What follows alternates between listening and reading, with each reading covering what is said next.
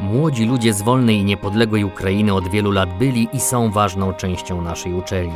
To ponad 3000 absolwentów, wielu pracowników i przeszło 500 ukraińskich studentów w chwili najtrudniejszej próby dla ich kraju.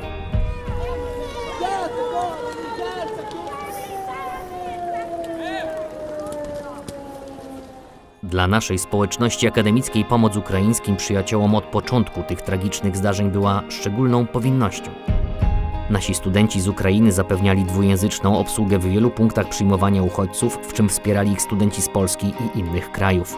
Zorganizowana została uczelniana zbiórka najpotrzebniejszych darów oraz pomoc psychologiczna dla studentów i przybywających do nich rodzin, którym udostępniono mieszkania w akademiku.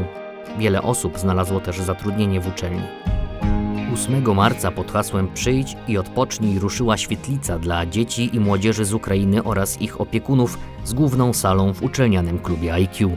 Była to otwarta dla wszystkich chętnych przestrzeń adaptacji do nowych warunków, miejsca, życia. Pozwalała na stabilizację emocji, sprawne załatwienie koniecznych formalności, regularny kontakt i nawiązanie więzi z rodakami w podobnej sytuacji. A także, zwłaszcza dzieciom, na oderwanie myśli od ponurych przeżyć i zajęcie ich tym, co przynależne młodym ludziom, zabawą i nauką. Przez krytyczne trzy miesiące, cztery razy w tygodniu, nieodpłatnie i z pełną obsługą wszystkich zdarzeń w języku ukraińskim zapewnione były specjalne poczęstunki dla dzieci, gorące posiłki dla opiekunów, ciepłe i zimne napoje. Na miejscu można było założyć konto, uzyskać porady prawne i konsultacje psychologiczne także w ojczystym języku. Studenci pomagali wypełniać wnioski, kompletować dokumenty, organizowali specjalne speaking cluby. Odbył się kurs języka angielskiego, a prawie 200 osób ukończyło pełne kursy języka polskiego z lektorami.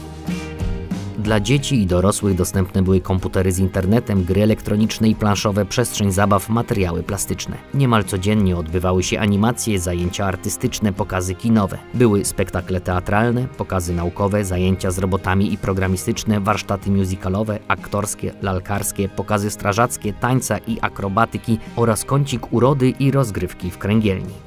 Przydatne okazały się warsztaty i prezentacje poświęcone szukaniu pracy, oswajaniu emocji o rozpoznawaniu zagrożeń czy prowadzeniu działalności gospodarczej w Polsce.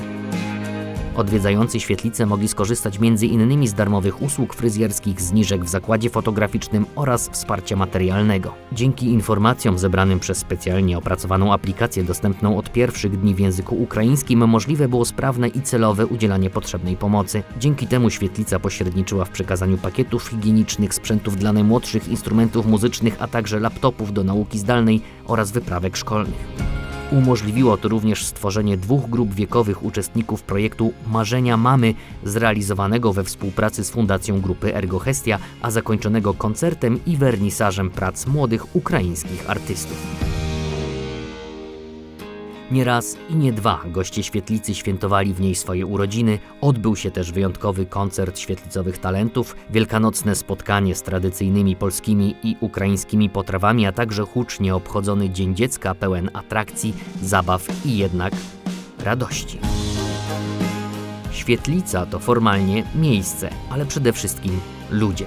Ci, których przywiodła tu dziejowa zawierucha i ci, którzy zwyczajnie czuli, że trzeba pomóc. To długa lista wolontariuszy, studentów, pracowników, przedstawicieli służb, instytucji, firm. I dzisiaj za to bezinteresowne, solidarne wsparcie wszystkim dziękujemy.